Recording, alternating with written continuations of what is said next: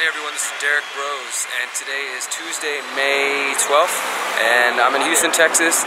George W. Bush, our beloved president, former president, is supposed to be speaking at a Barnes & Noble bookstore today, signing copies of his new book about his dad, the first George Bush.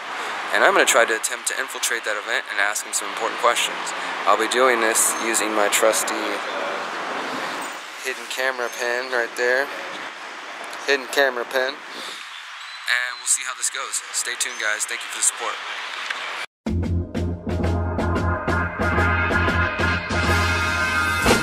Got me wondering how I got into this mix.